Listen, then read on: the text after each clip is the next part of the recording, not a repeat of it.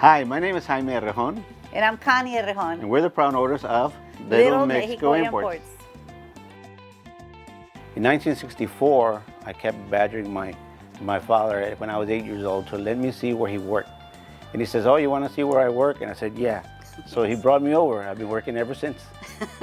my wife and I got married at an early age, and we were able to get a spot for ourselves here at Market Square. And ever since then, since 1974, we've been in business.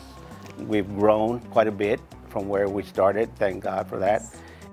What we like best about Little Mexico Imports, our store, is that we offer products from all over Mexico, Panama, Guatemala, Peru, Ecuador, and a lot of the stuff is handmade.